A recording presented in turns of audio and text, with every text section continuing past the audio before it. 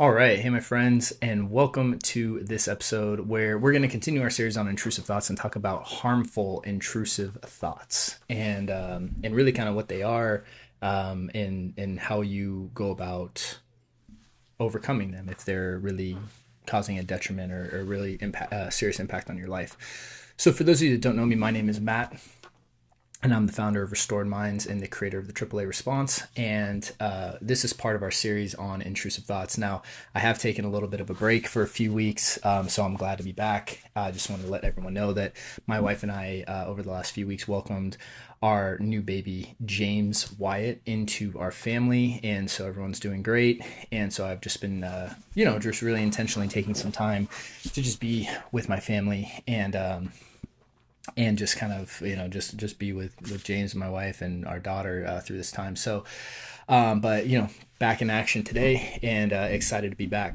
So, let's talk about harmful intrusive thoughts.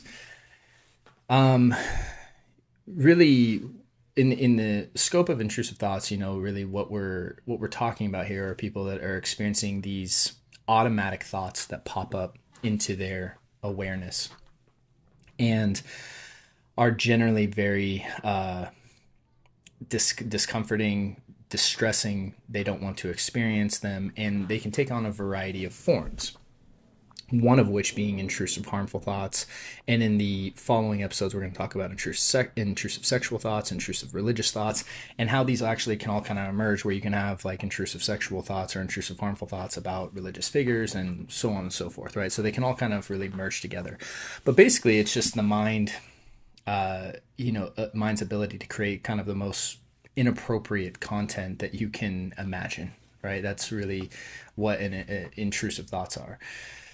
So let's go ahead and talk about when something's a harmful intrusive thought and when something is needs to be taken more seriously uh, as a potential threat, right? Because the main question I get with intrusive, harmful intrusive thoughts is like, hey, well, how do I know that you know i'm i'm not a danger to loved ones to myself you know all of that. How do i know this is just intrusive thoughts? And it really comes back down to the energetic experience or the emotional experience underneath the actual thoughts. So when in when a harmful intrusive thoughts pops up and it might be an intrusive harmful thought towards a loved one towards an animal towards yourself you know um, and, and it can take on a, all sorts of various formats when those thoughts pop up it's it's really about the energy and the emotional experience that the person is having in conjunction with the thought. That's an indication on what's going on. So someone who's experiences an intrusive thought and they're you know panic driven you know a bunch of fear the energy associated with that thought is fear right? Um that that's how we're able to categorize it in the realm of OCD and anxiety. So a lot of people will say, well, like you know, you know, how do you know that I'm not really a serial killer, or um, you know, that I'm not going to do something like I saw on the news, or all these other things? And the answer is is because when it's when it's associated with fear, like the the direct emotion, the, the dominant emotion that you're experiencing with these thoughts is fear that is an indication that these thoughts are are ego dystonic, right? They're not something that you want to do. Now, if the thoughts are more associated with like desire or like rage or anger, and the person doesn't have a problem with having the thoughts, or they actually feel like these are things that I want to do, that's when these are separate into a different category here of not intrusive thoughts right? So I want to be very clear. We're talking about the former, not the latter, and this is when. Um, so that's that's one of the ways that we're first dis- like becoming, uh, you know, helping someone to distinct what what they are actually experiencing is intrusive thoughts. Now, um, you know, the tricky part about intrusive thoughts, especially like harmful harmful intrusive thoughts or sexual intrusive thoughts, is a lot of times people get bad guidance, right? And they'll go to someone and say, "Hey, I'm having these particular thoughts," and if the person's not doesn't understand OCD, doesn't understand anxiety, doesn't understand intrusive thoughts, a lot of times that person will just take the thought at face value and react to that. And that's why um, you really want to make sure you're talking to someone who understands what you're experiencing because you don't want to get the wrong guidance and the wrong intervention. Um, in on the flip side of that coin, if someone is having actual like harmful ideation uh, or you know suicidal like true suicidal ideation, they want to get the appropriate help and not be treated for intrusive thoughts, right? So this is why we need to make sure we're we know what we're dealing with, and it really comes back down to the in that dominant emotional or energetic experience that the person experiences in conjunction with the thoughts they're having. So, with harmful intrusive thoughts, the person is having these general uh, ideations of what if I do X, Y, Z? What if I harm someone? Um, usually it's future oriented. Uh, a lot of times there's a lot of fear on touching things that could be weapons or weapons, right? Knives, um, stuff like that. Watching kind of any movies or shows that have violent imagery can be very triggering. And the thoughts are almost always directed towards people in their life or themselves, right? So it's what if I hurt myself? What if I hurt my mom, my dad, my brother, my sister, my dog, my boss, uh, even just walking down the street? What if I, you know, what if I'm just walking and I just jump kick this woman in front of me, right? You know, it's like it might be thoughts like that popping up. So it doesn't always need to be like loved ones, it can just be kind of happening, right?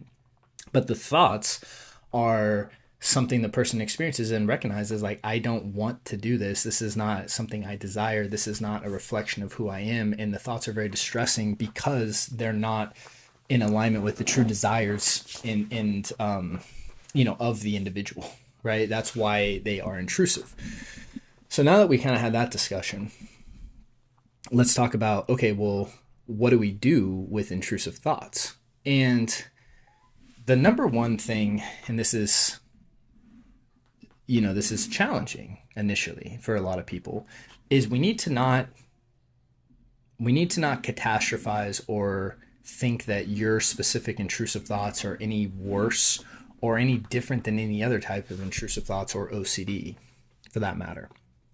A lot of times what happens is people uh, get into this idea that what they're experiencing is is more difficult to treat or to intervene on than other forms of this experience. So someone, you know, I, I, can't tell you how many times I've had people with intrusive thoughts come to me and say, you know, well, I just wish I had contamination fears because I would those would be much easier for me. And I would have people with contamination fears say the same thing about intrusive thoughts because it's not really it's not really about no, nothing's easier than the other. It's because they're the reason that this is so uh, disruptive and distressing is because of the corresponding energy and fear that's going on with thoughts.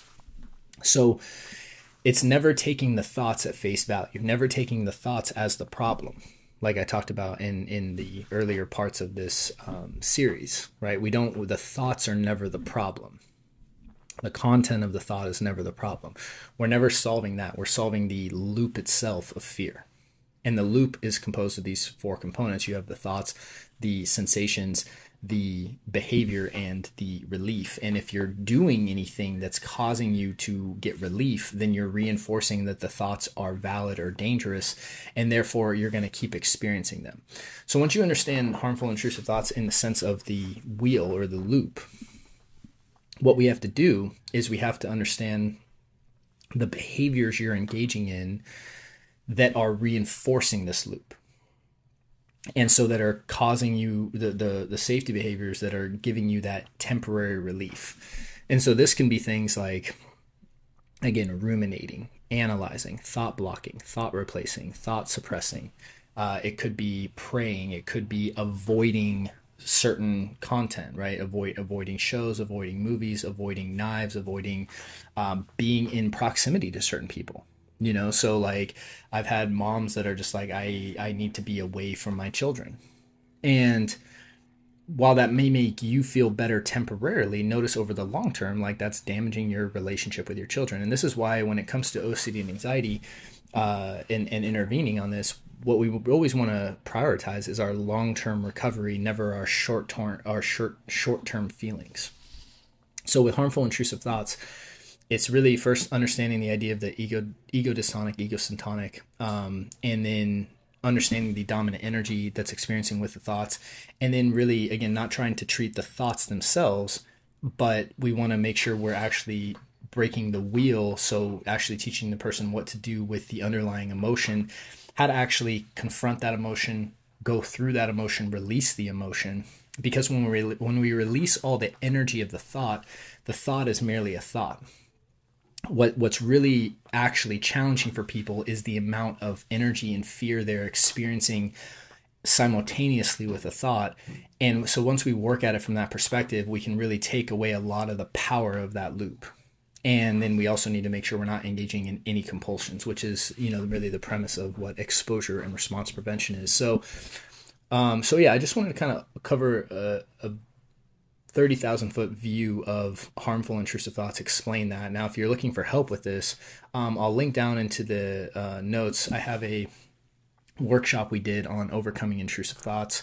Um, we'll give you a little discount link on, in the in the notes, so you're welcome to go check that out. It will uh, it was like a three hour workshop that I did, and it was um, it, it really help it will help you understand this, and we go into the more specific thoughts as well in the training. So um, with that, hope this helps. And if you found this helpful and you are benefiting from this content, please help us out by liking, subscribing, and leaving a review on iTunes or Spotify.